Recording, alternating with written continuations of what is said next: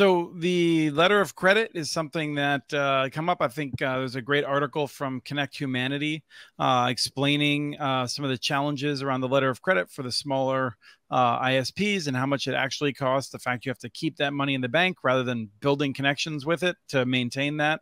Uh, sounds like a lot of uh, small, a lot of the banks don't even want to do it, and banker, a number of bankers are actually arguing that NTIA should just get rid of this, that it's not necessary and not helpful. So I don't want to go. With, we've talked about this a bit in the past, but I wanted to flag that article that I think really brought some good numbers to it and see. Doug, did you have anything to add to that? Yeah, just give you a two minute primer big companies don't have this problem because they have already have the money.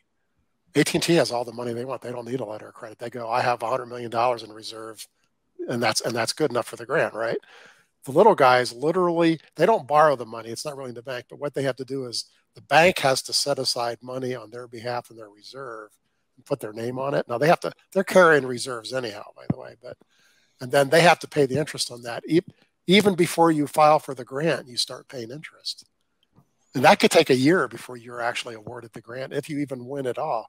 So you're paying, can you imagine, Travis, paying interest on $50 million for a year and not even know if you're going to do the project? It's nuts.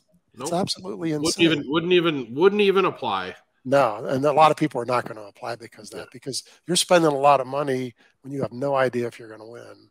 Um, and and and there's no reason for it. What they want, all they really wanted was guarantee that if they pick you, you're going to be able to make this work. But that this is a crazy way to do it.